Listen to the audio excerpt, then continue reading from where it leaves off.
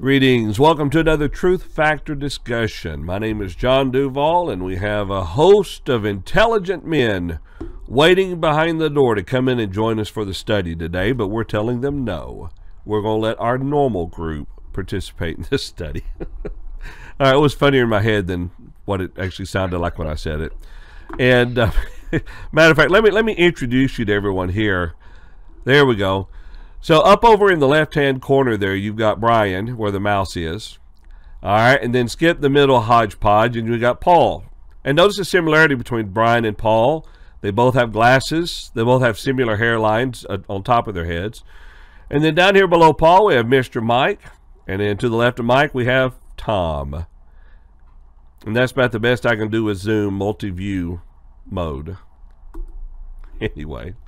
So what we're doing is we're in our study of Romans, and we're currently um, we'll be studying Romans chapter six here in just a couple of minutes. It is a very interesting chapter. Uh, the Apostle Paul having made the point that we're all justified by faith um, in Jesus Christ, but the justification, of course, comes from God.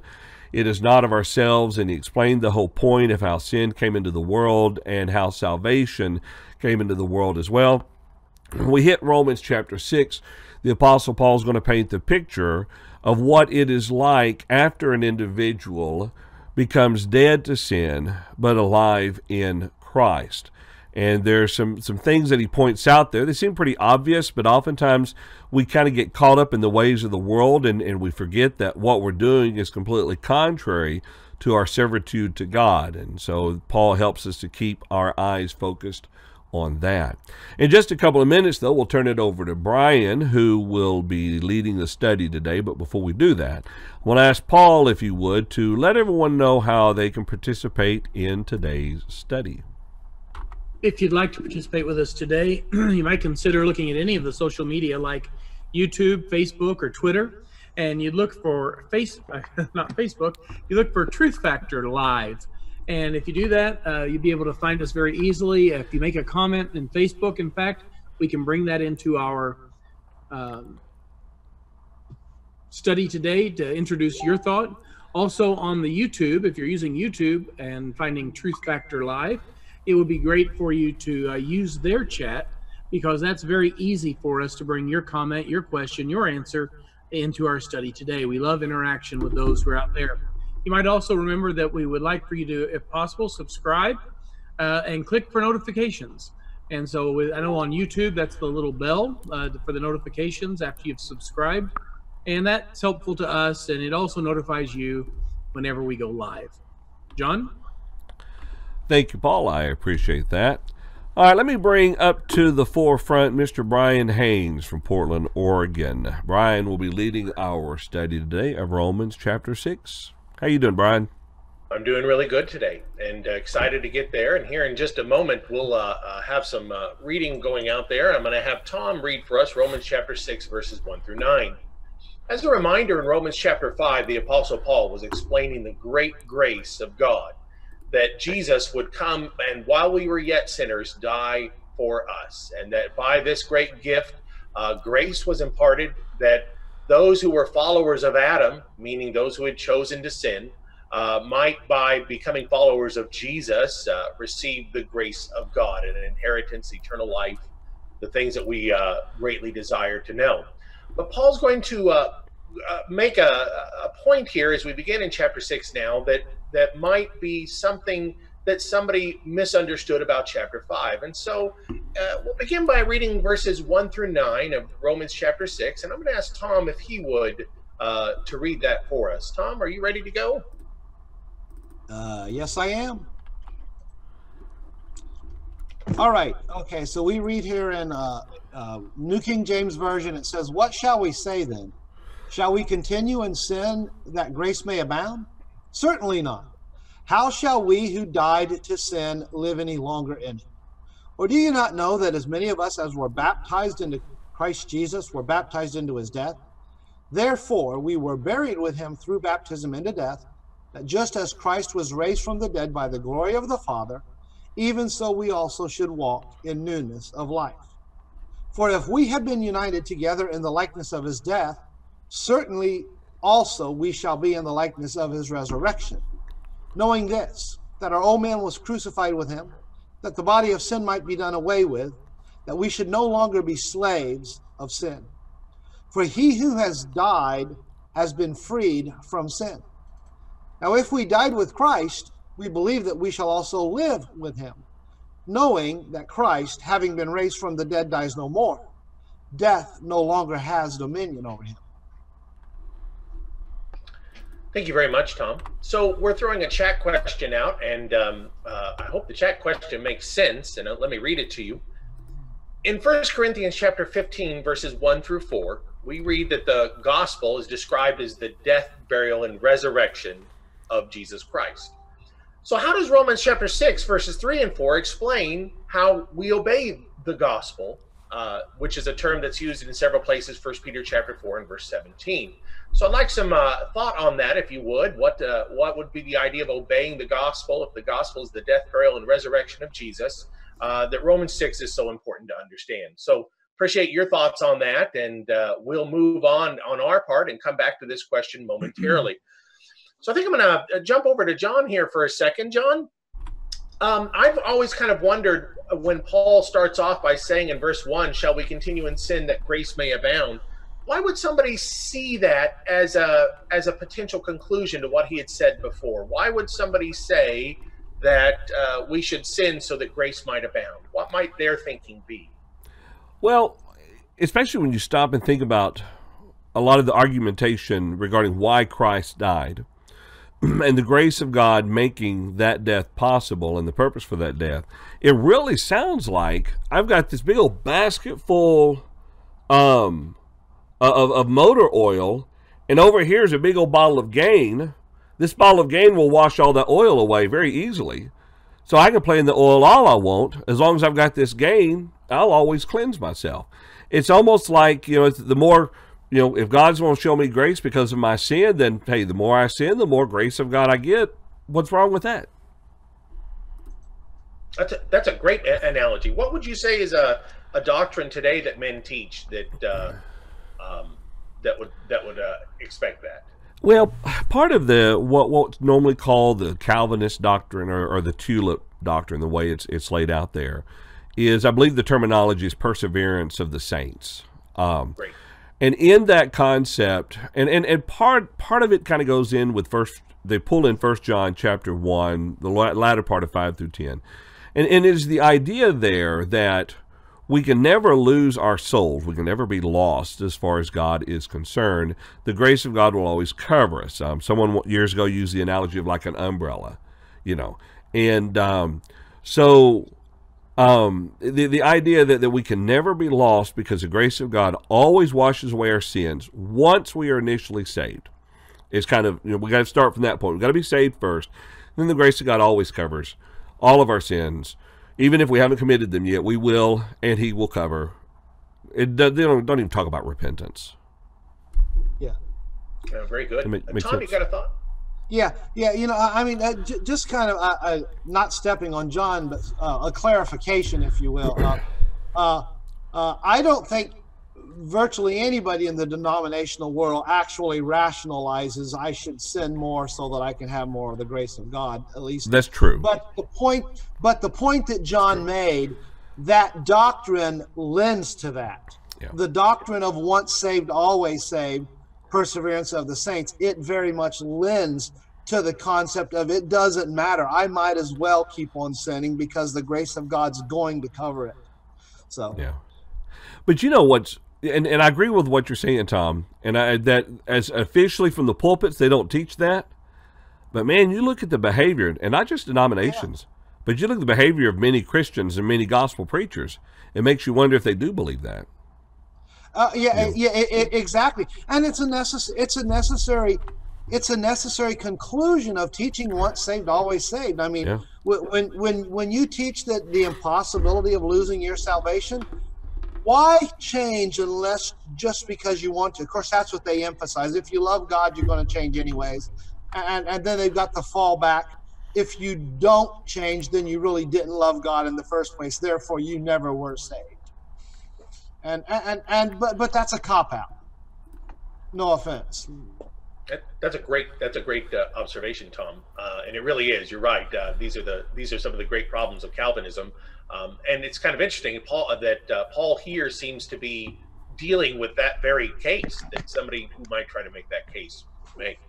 Um, let's go to our Paul for a second. And Paul, um, when he talks about the idea that we die to sin, what what are some of the ways that uh, those who are in Christ have died to sin? What does that mean exactly?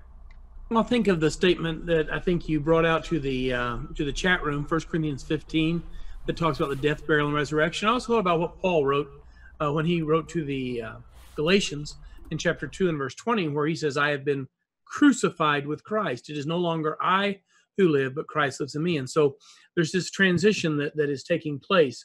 And so that we are wanting to get sin uh, entirely out of our lives. We know that in obedience to the gospel, we repent. At Pentecost, they were told to repent and be baptized in the name of Jesus Christ. In Acts 3, it says, repent and be converted. Uh, and so we know that there has to be this change that takes place. Jesus even said, uh, unless you repent, you'll all likewise perish. And so here we have this uh, repentance that's necessary. We have to turn away from sin. We have to change from just uh, living in it to just going through life, uh, not really concerned about it, to the fact that we're wanting to take it out of our lives. And he says, "How uh, how shall we who died to sin live any longer in it?" And so the Christian can't just say, "Well, I'm a Christian now, but I'll uh, it's okay for me to to sin now and then." Uh, the Christian needs to have the attitude, "I'm going to do everything I can to turn away from that." uh, and to turn to God in, in every way, in every aspect of my life. Uh, that's a, that's a great answer. I appreciate the fact that you you kind of pointed to it two directions: the sins that I died to in the past, and the sin that is around me now that I am dead to as well. And uh, that was exactly uh, what I was uh, hoping we might get to too. Uh, Tom, I'm going to throw a question at you, but Tom, I'm going to be honest. I don't know the answer to this question, and that means you get the excuse of saying if you don't either, um, we're we're both going to be on the same page. Tom, I've always wondered about the language that it always speaks in the Bible that it's always specific to state that God raised Jesus from the grave. It does it never says that Jesus raised himself. Do you think there's significance to that? What would you say? Uh, actually, I do. Yeah. I think the significance is the fact that when Jesus died, it was an act of faith. And and and, and so I, I think that's the point. God raised him I've from the dead. Of that. Yeah, and, and just as God raised Jesus from the dead, so Jesus and God can raise and will raise us from the dead. So I never thought of it that way, Tom. That's fantastic. Mike, have you got a thought that you want to throw or Well, I, I agree heartily with Tom's statement. Had God not raised Christ from the dead, there'd have been no proof conclusively that Jesus was indeed the Son of God. Every or that he was dead. well, every individual that had been raised from the dead had been raised through the agency of some man, even under the Old Testament. Prophets raised the dead. Obviously, God did it, but did it through the prophets. In the New Testament, Jesus raised the dead. There wasn't any human, though, involved in the resurrection of Christ. That's why Acts 17 31 says, He's given assurance unto all men everywhere, in that He, God, hath raised him, Christ, from the dead. I agree that it was an act of faith, but by the same token, had God the Father not done that, then there would have been no proof that he was the Son of God. No man of earth would have raised him. No man could have. guys these are these are great answers i uh you really have you've both kind of opened my uh understanding a little more and i appreciate that uh those are really good thoughts about something i've kind of wondered about many times and and uh, you've both given me something really great to think about uh, so mike uh oh, go ahead tom i'm sorry Yeah, I was gonna say, and going along, the, I, I think I kind of interrupted Mike, but but I mean, just just add to that the fact that if Jesus raised himself, that would lend to the argument: Did he really die? So, I I mean, I mean, and, and and that builds on the point that Mike is making there. Uh, somebody had to raise him, just like every other person that was raised by Jesus, and even going back to the old, was raised by somebody. So, so that's a point. Uh, that- that- that- that's just a really a, a great some great answers guys. Uh, um, i'm going to jump over to mike for a second. I'm going to say mike uh, the question i have uh, from verse 7 it says for he who has died has been freed from sin. So he's speaking of us being freed from sin. Yet he's going to go on especially in chapter 8 to talk about you know the sinful flesh that that our flesh has a desire to sin. So if if we still have the desire to sin in the flesh, how is it that we're freed from sin? Our souls have been freed from it. We need to make our minds follow that soul redemption. I like Colossians 3 and verses 1 through 4 is an explanation of this. There, Paul said, If you then be risen with Christ, well, the only way to do that is baptism. And we've discussed that uh, down through verse 6. If you then be risen with Christ, seek those things which are above, where Christ sitteth on the right side, uh, right hand of God. Set your affection on things above, not on things of the earth. Now, notice how he says it. For ye are dead, and your life is hid with Christ in God. Then the next verse, when Christ, who is our life, shall appear, then shall you also appear with him in glory. How dedicated are we to serving Christ? And Paul will deal with that as we go on through the chapter in being freed from servant of sin to becoming now faithful servants to Christ. It's kind of a play on the word slave as we go through this chapter, hmm. but that's the idea of it. We, ju- we do not any longer allow sin to reign and rule our mortal body. Christ now lives and reigns within us. That's a great answer. You know, I, I, want to tell our audience a second that the rest of us uh, are able to look at the questions a few minutes ahead and prepare our answer. Mike has to do it completely off the cuff. So I want you all to be very impressed that Mike is able to bring such knowledge to to bring a, a, an answer so so readily and so well. John, did you have any thoughts to add to either of the last two points? Well, I did, Brian. I'll, I'll take the most recent one first, and then I'll throw in the other one. Um, if Jesus had not died upon the cross of Calvary, it still would be possible for me to clean up my life. Okay? I could stop swearing, stop lying, stop stealing, stop cheating on my wife. I could stop all those things of my own will and determination. But I would not be saved. And there would be no drive for me to walk away from those things because I'm forever lost. You, think about that. When he died, he, he not only made it possible for us to be forgiven of our sins, but now we have the motivation to defeat our sins. You know, without his death, there, there's not even the motivation to defeat him, although we could attempt to do that, but it wouldn't save our souls. But since he paid the price for us, and hence the idea of the servitude, we're now being bought back. We're now servants of Christ, and we'll talk about all that later, of course. Um, being made free from sin, I think it's much more than simply saying we've been forgiven, which is a lot of it. But we now have the motivation to move on past it and, and to, to throw off the shackles of it. And I think Mike was mentioning that as well. Um, I never thought of that, John. That's actually a, a really good point. Um, well, thank you. I wasn't um, thinking of that at all, but that really actually is a very uh, a very astute observation. Thank you. Well, thank you. The, the other the other one goes back to what you were commenting about God raising Jesus from the dead. Let's not forget what Paul said in Romans chapter 12 verses 9 and 10 that in order for an individual to be saved, we must believe that God raised Jesus from the dead. I mean, there was a huge debate about, I don't know, maybe 20 years ago, you know, overall the, the deity stuff of, of Christ and all that. But when we come down to it, what do, what do I have to believe to be saved? I got to believe that God raised Jesus from the dead. And, and just as Paul, you know, and, and there's a whole there's a whole theological reason for that that we could get into, but it's, it's the concept is simple. This is what we have to believe. That's a that's a great, a really good point. Brian, um, I interject something right oh, yeah, here. please. Notice that when we ride to walk in newness of life, it is not by our own power any more than Jesus coming from the grave was by his own power. Paul says very plainly, Therefore, we are buried with him by baptism into death. This is verse 4. That like as Christ was raised up from the dead by the glory of the Father, even so we also should walk in newness of life. Yeah. We're raised in baptism and new life, just as God raised Christ to life after death. That's a, that's a fantastic, uh, fantastic observation. I'm gonna I'm gonna throw out just kind of a general generic question off of verse nine. In verse nine, we read that uh, Christ, being raised from the dead, dies no more. Death no longer has dominion over him. New King James Version there. Well, how how uh, was that the case, or what changed about Christ that death would have no dominion over him anymore? What do you guys think that the point there is? just throw it out. I'd like to borrow that question if I could, Brian. Yeah, please, it's yours. The word resurrection is an interesting word. There have been commentaries, dozens of them written, even by some of our brethren, who say, for example, that Dorcas was resurrected, Lazarus was resurrected, the son of the widow of Nain, resurrected, Jairus' daughter, resurrected. I will argue that they are not resurrected. They were raised from the dead. But the word resurrection means risen, not to die again. So that when Christ was raised from the dead, his earthly body would not die again.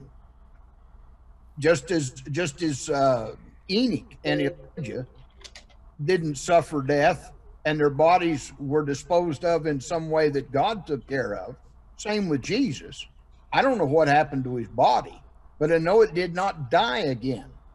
Well, the idea spiritually here is that we've put the old man of sin to death. We've crucified him. Galatians 2:20 as was pointed out a little while ago. No one lives through a crucifixion. So if that body of sin is destroyed and the soul raised to walk in newness of life, that's having part in, quote, the first resurrection from the book of Revelation. Are they that have part in the first resurrection? That's baptism. On them, the second death hath no power, said the Spirit to John. So being baptized, rising to walk in newness of life, commits us to a life of righteousness in Christ. Colossians 3, 1 through 4. Uh, that's a that's a fantastic answer, actually. And Mike, that was the answer I wanted us to understand was the concept around the idea of of. And I like what you said, Mike. That the idea of resurrection is specific in the scriptures to refer to the idea of the raising and transformation spoken of in First Corinthians chapter 15. Uh, it's important to understand uh, specifically the idea is that to be raised, as you would have put it, Lazarus died again, uh, Tabitha died again. These are all people who have have uh, passed from this life, so they were raised up from the dead only to die again. But the transformation, as Paul describes it in First Corinthians 15, uh, implies the idea of a transformation to a body that no longer has death. Tom kind of even referred to First John chapter three. Mortal immortal Yeah, yeah, the, the the corruptible and incorruptible. You're right. Yes. And uh, Tom made a reference in our private chat to First John three, which was actually another passage I was thinking of, where it says, "We don't know what it will be like, but we know we'll be like Him." And I think that that really does uh, have a reference here to the characteristics of the transformation and resurrection um, that that we're supposed to believe in. Hebrews chapter six tells us it's one of the fundamentals of faith. So, mm-hmm. Brian, quick question: Your question had to pertain to death no longer has dominion over him. Yeah. All right. Now that, oh, hmm. and we need to consider that that is also talking about the physical death. Right, right. That's what I think he. I, I think he's saying that the transformation of his body meant that death was no longer something that could have power over him. So that so that the natural physical body, because it's corrupting, because it's dying, Paul would say elsewhere it's dying. That yeah. it's the, the, characteristic of physical death has no uh, has a power over even Jesus. Although Jesus never sinned, while right. he was a physical man, that death had that power. When he was raised and transformed, he was uh, death no longer had that power. Okay, that's what I thought y'all were saying. I just wanted to. Joke. Mike went really deep with his answers. Really good. right. Yeah. I, I, had to swim up and take a breath real quick. yeah, and, and just one other quick thought. Just before we, uh, uh, just before we started the study of Romans, we, we did a short study on evidences, and we talked about the resurrection. And I think one of the points that was made is that when Jesus was raised, he was different. I think that's evident by the appearances that uh, people had to take a second look. Right. But it was he was clearly it was clearly his body. And and and and that's the point to emphasize is in all of that. So so there was something different about him which is why he wasn't going to die anymore right. You know and, and tom or uh, tom what's important about that is there are some today that don't even among brethren that don't believe in a resurrection. They believe that oh, yeah there is no resurrection coming or a day of resurrection or a day of judgment. Um, and that's, you know, the Bible, of course, talks about the shipwreck of faith that comes by those that deny the resurrection. Yeah. Um, So I guess it's time for us to go back to our chat question. It looks like we got a couple of answers. We got one in uh, uh, one on our Facebook chat and one on our YouTube chat. So which one do we want to bring up first there, John?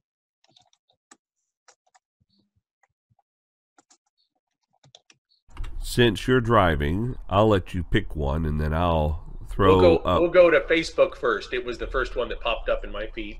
okay. And that was an answer given by Dan Gatlin, who's uh, been a guest here too. And uh, Dan uh, tells us that the answer is baptism, represents the death, burial, uh, death and burial of the old man, and the rising to walk in the newness of life. And uh, that's exactly right, Dan. Uh, uh, uh, that was what we're looking at here. Um, Gregor gives us a little, uh, a little more thought uh, to a different direction in a sense. He says the gospel being our path to righteousness. If we do not have the faith to follow His path, how can we partake in those bless in those blessings? If we don't die to sin, we can't be raised in purity. Uh, so Gregor really gave us a sense too of the idea of following Christ. Uh, you know, in in baptism too. So uh, we get a sense of that as well. So I'm really appreciative of those comments, guys. Thank you so much uh, to our chat for giving us that. Now we're going to go on in Romans chapter six, and we're going to read verses 10 through 14. And I'm going to ask um, I'm going to ask Paul if he would to read for us Romans chapter six, verses 10 through 14. Be happy to do that. The scripture there says, For the death that he died, he died to sin once for all. But the life that he lives, he lives to God. Likewise, you also reckon yourselves to be dead indeed to sin, but alive to God in Christ Jesus our Lord. Therefore, do not let sin reign in your mortal body, that you should obey it, it in its lusts. And do not present your members as instruments of unrighteousness to sin, but present yourselves to God as being alive from the dead, and your members as instruments of righteousness to God. For sin shall not have dominion over you, for you are not under law, but under grace. So we're going to throw a chat question out there, and hopefully it's not too complicated of a question. Um, so he mentions there in verse 12, do not let sin reign in your mortal body. So the question is, how could we let sin reign? Uh, how can we let sin reign in our mortal body? How is uh, what what would that mean when he warns us about that? So if our chat can give us some thoughts on that, we'd appreciate it. Um, let me jump over to John and ask him a couple of questions here. Um, John, the language here he talks about is being dead to sin in Christ. And I'm wondering what exactly that means. And, and what I mean is, how does that manifest itself? How does it make itself? Uh, how do I understand the idea of sin being dead? Does that mean I'll never sin again once I become a Christian? Does does all of my desire to sin now leave if I've become a Christian? Um, and and I might suggest maybe some people say that. John, what do you think about that? Well, I wish you'd give me an, an easier question. no, actually, I do. I do think that the concept of the answer here is on on a, on a kind of a simple level, but at the same time, the application of that um, says a lot about our hearts when an individual's converted to Christ. Uh, the concept of being converted to Christ, being converted to the gospel, is a complete change of mind, and therefore, even we put to death the old man of sin. We're putting to death, you know, what we used to formerly desire. We no longer we have the control over, and we no longer let those those uh, desires control us. So when he says, "Likewise, you also reckon yourselves to be dead indeed to sin, but alive to God." Formerly, we were dead in our trespasses and sins. Ephesians chapter 2 makes that very plain to us. All right, now that we were dead, we have been made alive. You know, y'all were talking about the resurrection a while ago, and I completely agree with what you're saying. Um, there, we are waiting for the resurrection to come, but there has, in a sense, been a resurrection to already have taken place. You know, our old body, our old man of sin, we we have now put that old man of sin to death, and we have made the decision there to be alive not to be alive. But knowing that we are now alive in Jesus Christ, we now choose to walk in our servitude to God. So, um, I, I, hate to use this analogy because I think it can be overused, but it's like a parent saying to the child, "You're dead to me," because the child has chosen a very you know life that he should not walk. Well, we should look to sin and say, "You're dead to me. I'm now alive in God."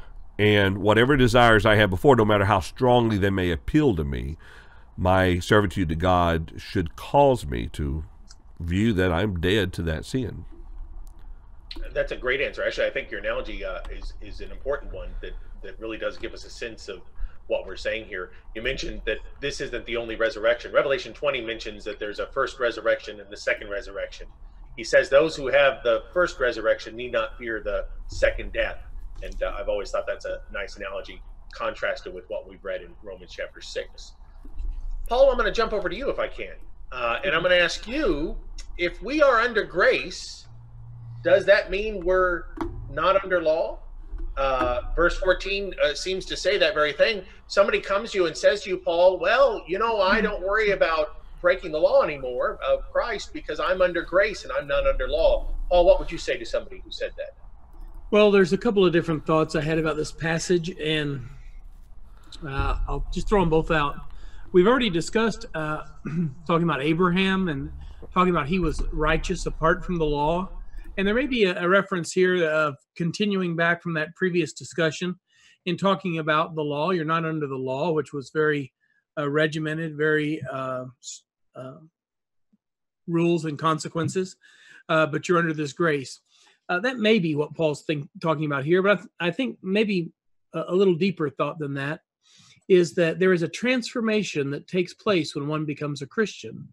And uh, here he's talking about that not just walking uh, according to the lust of the flesh, not just walking uh, according to whatever the the sinful passion would be there, whatever desire would be there, but instead you've been transformed to be something better that you could not have otherwise been. I think about what Paul wrote uh, to the Romans in Romans 12 verse 1 and 2. He, he talks about two different concepts. He talks about uh, being conformed and not to be conformed to this world, not to be molded and shaped to this world, but instead he says that we need to be transformed by the renewing of our mind. We need to be something that without God's power, we could not otherwise be. I think that may be at the heart of what he's saying here that we're not under the law, we're not under that law of sin and death he talks about, but we're under grace. We are participants and we've been changed uh, because of who we are in Christ. It's a, it's a really good answer. Thank you, Paul. Uh, but put a lot of good thought in that. Anybody else want to add anything? Because if not, let's jump over to Tom. And Tom, here's what I'm wondering about here. As we read through this, one of the things we talked about is that verse 14 says sin doesn't have dominion over me. That word dominion is important. It's the idea of a of an authority or a power over me. And we're also going to see the wages of sin being death and some of the language there. Here's my question, Tom. If sin doesn't have dominion over me, why does death have dominion over me? Um, in other words, uh, even as it even spoke of Christ there, why is it that I can be free from sin but not free from death? Uh, are you talking physical versus spiritual death? well, I wonder. yeah, I, I, mean, I, I, I, obviously there's two different types of death. Uh, uh, physical death is the consequence of the Adam of the sin of Adam. So, uh, you know, and and we've talked about that a little bit before. We don't inherit the sin of Adam, contrary to what many in the denominational and religious world teach. Catholicism teaches that we inherit, but we do inherit the consequences of the sin of Adam. And one of those consequences is the fact that all men are going to die physically, materially. So uh, he's he's obviously not, uh, you know, when, when he talks about that, uh, or when we understand it, it doesn't mean we're not going to physically die. But if we're living the way that we ought to, we will not be hurt by the second death, something that you alluded to a few moments ago, because because we've been part of the first resurrection. And and so I think that's what we're, we're dealing with here. Very good. Very good, Tom. Uh, you know, and it is important, like I said, that we see the word dominion used twice here, used back with verse 9 about death having a dominion over Christ until he arose from the grave, and then that dominion was taken away. Uh, so we rightly see, just as you talked about here, we're not necessarily talking about the dominion of, of physical death, which is there till we're raised from the dead. But the second death is the one that we're, uh, Revelation 20 would point to us that we're ready for. Um, if there's no other thoughts, let's go back to our chat question. I see we've got an answer in our Facebook. Oh, we have two answers. So uh, we have one in our Facebook and one in our YouTube. It looks like Dan Gatlin and Facebook got back to us first. So I'm going to grab him first if uh, we can grab that comment. Uh, Dan said uh, the question was, how can we let sin reign in our mortal body? And Dan Gatlin said, by sinning, by following our passions and desires without attempting to keep those under control. Daily self discipline is essential to be saved. Dan, that could be a sermon, right? Daily self discipline is essential to be saved. That's uh, uh, a, a, profound and important idea. Thanks for that, Dan. Uh, now let's jump over to Facebook, uh, or I'm sorry, to YouTube. And in our YouTube chat, Gregor Hinckley, Gregor Hinckley gives us James 3, verses 14 and 15 which speaks about the uh, sensual as demonic, sensual being carnal or physical things, especially pleasure. If we seek these things, sin reigns in our lives. I really like the idea that if we put the two thoughts together, self discipline versus living a sensual life uh, that our two comments gave us, we really get a pretty uh, full idea of what we pursue and what we turn away from. So, guys, I really appreciate your answers on that.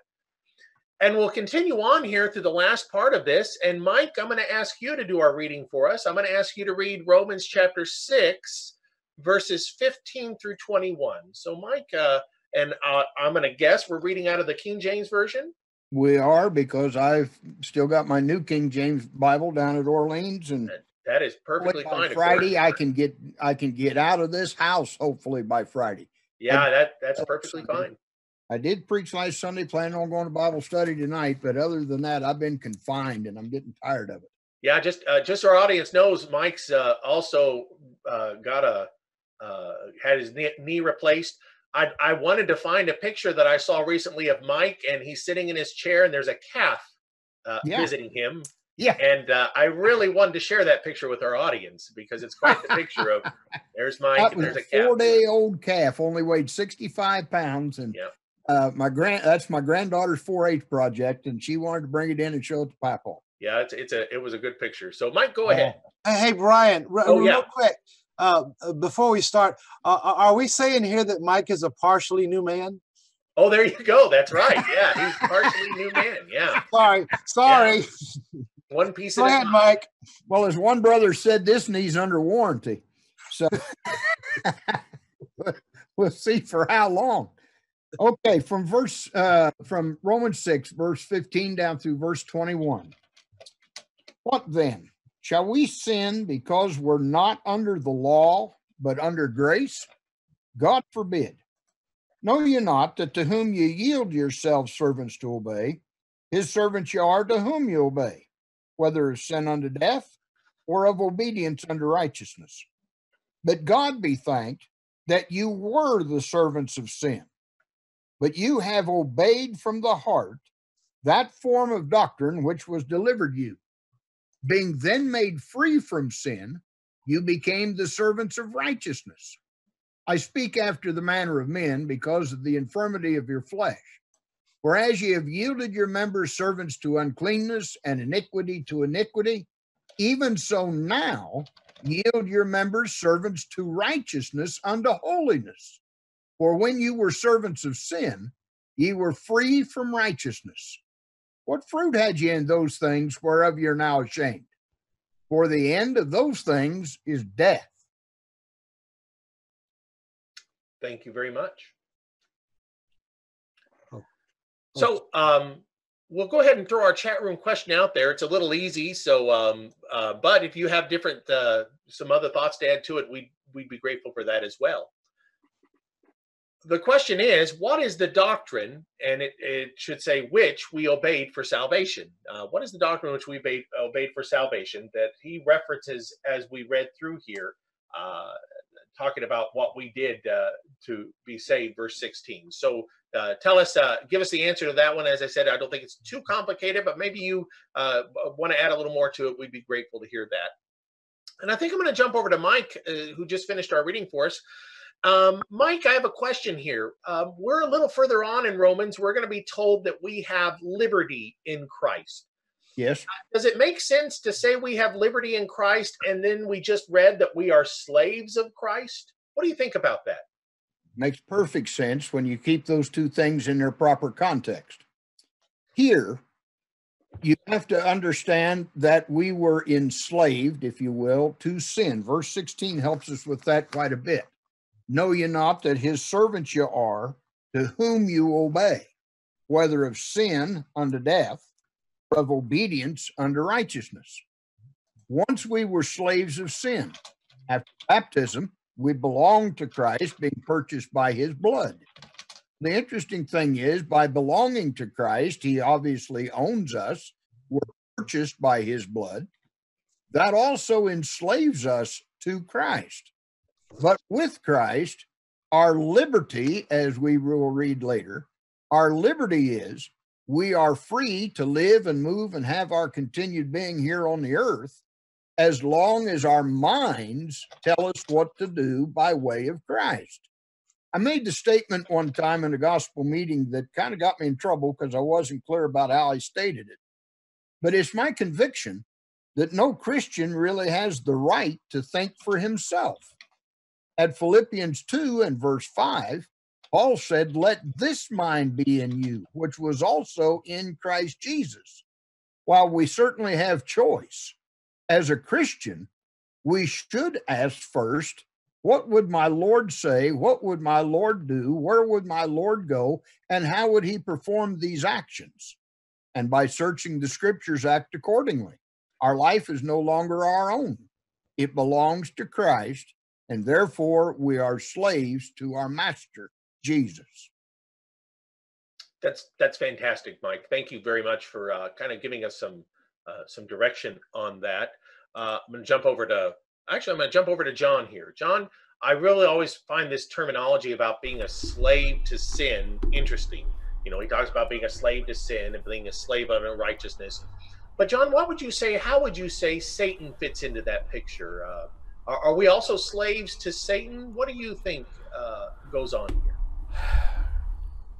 We are only a slave to the one we choose to serve, effectively. Um, and so, and and you remind me again what verse we're looking at. Second. Well, we were we were talking about verse twenty. He talks about yeah. being slaves of sin. Yeah. Um, and um, um, so yeah, know, I think verse seventeen it too. Now, th- this is going to sound a little bit odd, especially in light of what Peter says about the devil goes about like a roaring lion. Okay. But I really think when it comes down to the application, we are serving sin and not seeking to serve the devil. All right, I, I, know a lot of people. You know, a lot of people who will do things. I mean, they'll do things that are clearly sinful, and their mind isn't, "Oh, I'm serving the devil." Okay, their mind is they are going to do what they want to do, and so they literally become literally become a servant of sin because they've chosen not to follow Christ. And I thought maybe that's what he's talking about. It's not so much just being servants of the devil. We only are if we choose to follow not follow Christ. Okay. But I think the more practical application is that we are servants of sin when we choose to walk after after sin. Um, James makes the point that every man um, sins when he is drawn away by his own desires and enticed. You know, and so I think that that may be what Paul's talking about here. You know, it's very interesting, John. One of the things I was thinking of as we study this is that there is no statement in the Bible that that uses the term slave uh, as with Satan. Uh, yeah. I mean, it speaks of some being ministers of Satan and serving Satan in a sense, but the idea of our slavery is typically spoken of with our sin. And yeah. I think that, that that idea oftentimes is that uh, we need to appreciate, as James would say in James chapter one, sin comes about with our desires, yeah. you know, and our our uh, disobedience. And so it really, uh, I think that there's the significance of what you're saying. Yeah. There. Other than getting in a lot more trouble, I'll say this too: we are the devil when it comes to our own lives, in a manner of speaking. Well, it's kind of interesting when uh, Jesus told Peter, you know, get behind me, Satan. Yeah. You know, um, you know, the, the, the language of, of, a, of a statement like that is, is, is he's, you know, what is the implication there? And of course, the yeah. word Satan means adversary or opponent, you know, or accuser. Those are all different yep. terms that word devil means too. And, so we, yeah. we would understand that, you know, there are things about that that, that would be true. Yeah. I'm not saying there's um, not a devil. I'm just saying. yeah, right. No. Right. Right. I get. I get what you're saying. Um, let's go ahead. I'm going to read the last two verses here, and then I want to take our conversation a little different direction. Uh, I want to talk a little bit more about wages of sin uh, and consequences of sin. So let me read these last two verses here, um, and uh, we'll give a little more time to our chat question and come back at the end for that. Verse 22 But now, having been set free from sin and having become slaves of God, you have your fruit to holiness, and the end everlasting life. For the wages of sin is death, but the gift of God is eternal life in Christ Jesus our Lord. uh, I, there's something, some real important things there in uh, Romans chapter 6, verse 23, a very important declarative statement that's made. And I want to talk about that for just a few moments. Let me begin by asking Paul, Paul, what are the wages of sin? I Oh, think Paul had to step away. I'm Paul. sorry. Let me uh, jump over. Uh, I just uh, and I also just knocked my notes loose. Um, Brian, I forgot to turn my camera back on. oh, oh, okay, okay. I'm sorry. So, Paul, the question was, what are the wages of sin? He references here. Well, he contrasts two things. The wages of sin uh, are death. Wages are death, uh, but the gift of God is eternal life. So I think Tom made reference earlier to that spiritual death, the separation uh, from God that takes place when we sin. And so there is that separation, that death that occurs between us and God. And the wages of sin, what sin pays, is death. So, you know, the idea here, uh, you know, and we might, we're, we're going to try to make a couple of specific points about all this is that uh, the death that we refer to, we know there's two deaths. Revelation 20 speaks of a second death uh, uh, that we want to consider here versus the first death. Let's try to understand something. Tom, you said something earlier that's uh, kind of important to us. You talked about the idea of death, physical death being something that had come down through Adam, uh, um, spiritual death being something that we received because of our sin. Um, let's use a word here, and I want you to kind of explain what we're talking about when we say, well, how would this be a distinction between the wages of sin, which is spiritual death, and the consequence of sin, as you talked about with Adam and physical death? What's the difference between the wages of sin and the consequences of sin? Uh, well, believe it or not, it wasn't. It wasn't too long ago, at least to the best of my knowledge, where it kind of dawned on me on this text the idea of a wage. A wage is something that you earn. Uh, uh, uh, a wage, you know, when you think about a wage at a job, you get paid for what you've done and you're entitled to it. And, and quite honestly, your employer cannot take that away from you legally or, or, or ethically or any, or, or any other way. It's yours. Uh, a a consequence may not be your fault. And so I think that's the difference between a wage and a consequence. When you talk about a wage, you earn it. And and and it's kind of interesting to note that that language as it is used in this verse here, the wages of sin is death. That uh, that tells me that if you die spiritually, it's nobody's fault but your own. You earned it. Did uh, did we earn Adam's death? No, and and and, that's kind of the point. It, it, it's a consequence. You know, I, I mean, it, it's it's it's like uh, uh, somebody that gets hit and wounded by a drunk driver. Wasn't their fault. It's a consequence of the actions of the drunk. It's not even a consequence of their own action. You know, uh, you know, in in that particular situation, and, and that's the whole thing about consequences. Sometimes consequences are a result of what we bring on ourselves. Other times they're just a result of something that somebody else did. That's different from a a, a wage which which is something that you've earned. And and i guess you could look at that if you bring it on yourself uh, uh, if there are consequences associated with something that you bring on yourself i guess you could call that a wage so it might be one of those things uh, uh, to clarify it that way. Uh, but it is important that we make the distinction. So, so this is something super important, Tom, because Yeah. some people have taught in the past that because Adam's death is something all men inherit, and the wages of sin is death, that by merging those two ideas, they have said that all men have inherited the wages of Adam's sin. And Tom, you have very uh, uh, clearly made a statement here to say that that's not the case; that it's a consequence of that. Uh, Tom, I'm going to ask you kind of a tricky question, and it's okay to throw it back at me if you want. In Genesis 3, uh, w- is this a statement that's even true of Adam? In other words, did God make a distinction between the wage of sin and the consequence? Spiritually that day. You know, yeah. I mean, uh, I. I, I do believe he was, uh, and and I, I would say he did because he was separated from God as a result, as a result of the sin. Something had to be taken care of. But when I say they they make the debate whether or not he totally died spiritually, is it possible that Adam repented, and we just don't know about it? Uh, you know, I mean, and, and uh, Um, it, I, it's possible. I mean, I just don't. We, we we just don't know. We're not told anything about Adam after he left the garden, other than he died and he had another son. Uh, good, good stuff. Yeah. Good stuff. I'm going to jump over to Mike. Mike, I want to ask you, uh, uh, kind of hey, to build on something Brian, Tom said. Brian, oh, I'm, sorry, I'm so sorry for interruption. My program shut down. Oh. um, and it it killed. Now the YouTube stream may be back up, but the Facebook stream can't be brought it back is. up because it's a, a different um, alternate instance of it.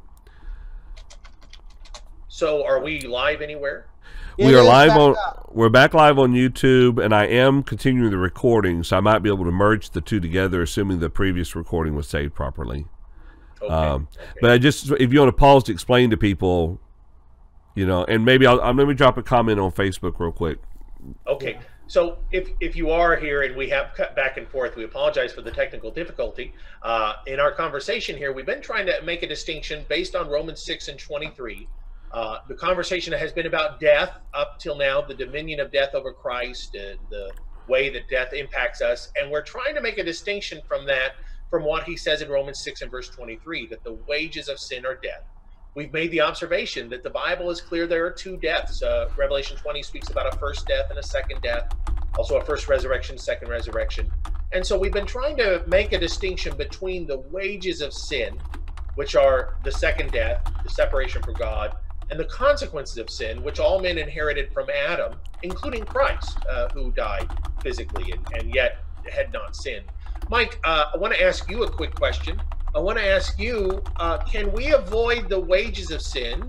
And then I want to ask you, can we avoid the consequences of sin? We can avoid the wages of sin if we live righteously unto death. The Lord himself promised, Be thou faithful unto death, and I'll give thee a crown of life. Peter talks about adding to our faith virtue, knowledge, temperance, patience, godliness, kindness, brotherly love let these things abound in us that we may receive that crown of life. Second Peter 1 1 through 12. Um, they, we, we can't avoid the wages of sin being eternal death. We cannot avoid the consequences. And I was thinking about this when Tom was talking. I like to think of this as when we've made serious mistakes, we end up getting a scar of some kind. You mentioned my knee a minute ago. Well, I'll use that as that's been from a mistake of abuse, from finishing concrete, uh, being on my knees so much, uh, working under cars and bending and such. That's a consequence of that. And now I've got a scar that will forever remind me don't be dumb enough to do that again. Well, sin's a lot like that. It leaves a mental scar, at least in the human, that says, look, you went down that path once. You don't need to do that again. That's a consequence. That tells me this is the result of wrongdoing. This is the result of righteous doing. And by looking at those examples, I follow the path of righteousness, which allows then at the end of my life, death in the flesh, but the gift of God being eternal life.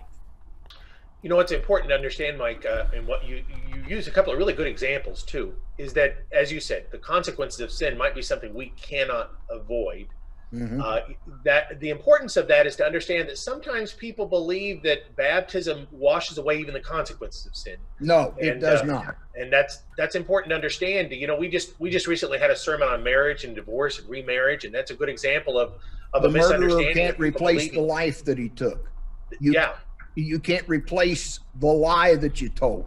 Yeah. Can't yeah. A, a, thief that spends the money can't return it. There's all yeah, those kind of consequences, but forgiveness can still be there. Divorce right. marriage is probably one of the most prominent problems among brethren today.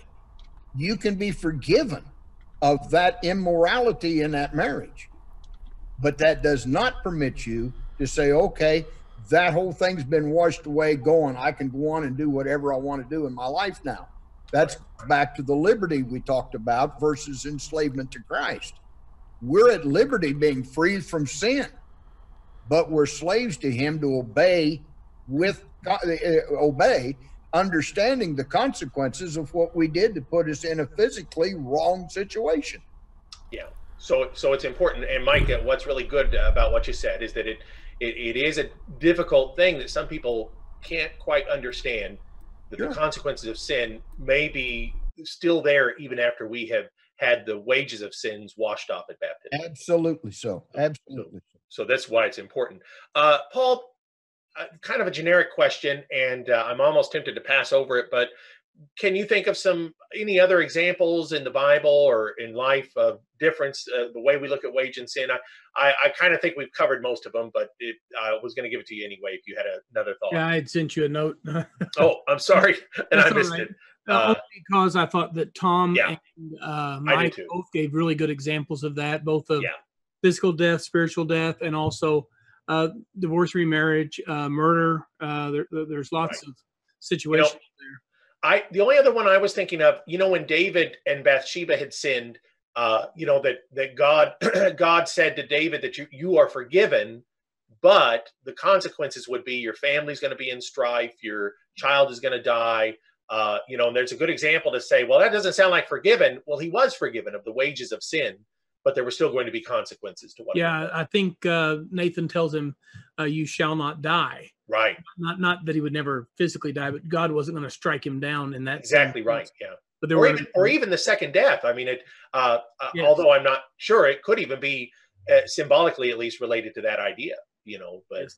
that he wasn't cut off from God. Um, uh, Tom, here's a question. Uh, you know, Paul got a one that wasn't fair, but uh, I'm going to throw it back to Tom because maybe you put some thought into this. How about righteousness? Are there wages of righteousness? Are there consequences of righteousness? Yeah. Yeah, I, want, I- want more of an answer. Uh, yeah, I, I, I, I mean, uh, ab- absolutely. Uh, and and uh, that's another interesting question when you define what righteousness is and you relate it to the grace of God, because in reality, uh, as we've already noted in chapter three, there are none who are genuinely righteous. Uh, even though we may be righteous now, you know, we've hungered and thirsted after righteousness, and because of the grace of God, we have been made righteous, but it has something to do with our conduct. And yes, there are consequences and wages associated with that. Uh, uh, sometimes good things happen because we are doing the right thing. I've I, I I've always I've always uh, taught, you know, from a biblical standpoint, how much better would society be if everybody followed the standard that we find in the Bible? And uh, but people don't and, and and when you look at the ugliness that is around us and i think we're in the midst of a of a very very ugly time you know i'm look uh, uh, from my limited life experiences and so on. Um, and and i just see the fruits of ungodliness everywhere there. It, it, but when people are righteous what good happens when that happen uh, or when that takes place? And then there's the spiritual aspect of it. If you want to go to heaven, the, the consequence and the wage of righteousness is being righteous in God's eyes, and and, and the uh, the wages eternal life. Very good. Uh, you know, and like I said, we would understand that it's a wage that we've not earned. It's a wage that's been credited to us because of uh, because of faith, but it is something that fits the category of wages because we receive that at the end, as we've talked about the idea of wages. Um, you know, I was thinking of different consequences of righteousness. I was thinking like maybe the fruit of the spirit might fit into that. The you know the, the characteristics of the the benefits of righteousness, and I think you said all of those very well. Uh, any other comments we want to make before we go back to the chat? If not, I know we've got an answer to our question in our YouTube chat. Our question was, What is the doctrine uh, which was obeyed? Verse 17 speaks about that we obeyed for our salvation. Gregor Hinckley gave us an answer to that question. He says it was a baptism through Christ. Um, and of course, he's pointing right back to the beginning of that same chapter. The good news being Christ's redemption of our souls through his death and the promise of our salvation by his resurrection. Because of faith, we are baptized as directed. So, you know, we can we, we could add to that. We could say, you know, hearing and believing. He's going to talk about that in Romans chapter 10. Uh, uh, hearing, believing, confessing. Those are all the things that he'll he'll kind of point into. He's talked here about repentance and baptism being a part of that as well. And the whole point is these are the things we obeyed that brought us uh, that brought us into our relationship with Christ. And so that's the answer we were looking for. We appreciate that, Gregor. Are there any other comments or questions or thoughts as we finish up? Uh, and uh, if not, I, I'll let you make them. And if not, I'll turn it over to John. I think I think you've done a good job, Brian. Um, very good job with, with the study today. I appreciate that. Um, I wanted to apologize uh, probably about 15, 10 minutes ago. The the vMix program that I have running that makes all the streaming possible decided to say, let's restart without any notice. And it restarted, which meant the Facebook stream and YouTube stream went down. And when the Facebook stream goes down, it cannot be restarted right away. It's a different instance. The YouTube was able to restart, and so we apologize for that. Um, I'll try to to take the recordings of both programs and make it one you know make it to one. So you can go back and watch the end of it if you've missed any of the section here. But if you're still watching us it means that you are with us. And so i want to thank you for taking your time for studying with us today as we looked at romans chapter 6 gentlemen real quick any other final thoughts or comments? Paul let's throw it to you. No, I'm glad to be back. Uh, glad to be with you guys and uh, really enjoyed the study today. Brian did an outstanding job. okay mike I'm good. I, I am so thankful for the study and uh, look forward to being with you again next week, Lord willing. sounds good mr tom No, uh, um, appreciate the study. It's an important, important passage talking about uh, we determine the outcome of our lives. Who, who, who are you going to serve? That's right. That's right. Well, thank you so much for joining us for our study today. If everything goes according to plans, or as we try to say, and we do mean, Lord willing, we'll continue our study with Romans chapter 7. That'll be next Wednesday at 11 o'clock a.m. Central Time. In the Eastern time zone, that'll be at noon. 9 a.m. Pacific time. And 10 a.m. Mountain Time. That's right here at live.truthfactor.com. Have a wonderful week.